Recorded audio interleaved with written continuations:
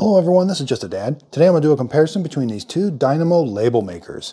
So on the right here, I've got this one that you're going to turn and you're going to press. So let's say I want, let's spell out just.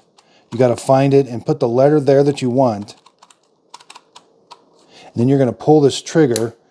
That's going to stamp it onto the label and it kind of gives it kind of a 3D effect that's raised.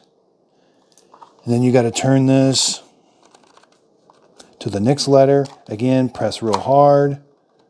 then S, and then T.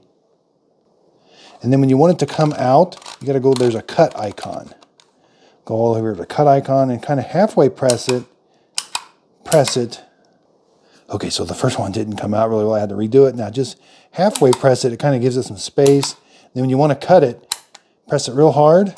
And now you've got it cut. There's just Gives you a little tab here to pull off, and then you can stick this to different things. Here's some labels I printed earlier. So you can see it sticks right there. Now let's go to this label maker. This is a really nice label maker. It is battery powered. You got to put four AA batteries in. This is where the tape goes up here. You got different types of tape. This is white on plastic. Let's turn it on. You're going to spell out your letters like I've got here. This is the backspace. Then type in like D. Hit print. It prints it for you. Then it's gonna, we're going to still have to cut it with this cutter right here.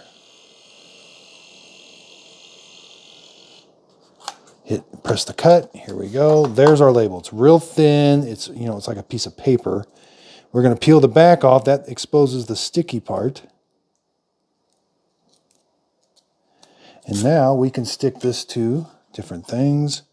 Let's stick it down here. It sticks really well. It's really flat. Again, you'll see this one is kind of raised just ever so slightly. It Gives it kind of a 3D effect. So with this one, I've got several more characters. I can adjust the size. I can go bold. I can add characters. You know, this one you are just a little bit limited. I can add a few things, but each thing is manually and I got to turn it. But this is just really nice. Doesn't require batteries. To change the reel, you're to pull this back, and that's where the tape goes. So you're to put the tape in there like that. Like here's a new one here, and then you're to you're to feed it up through there, and then you're ready to go.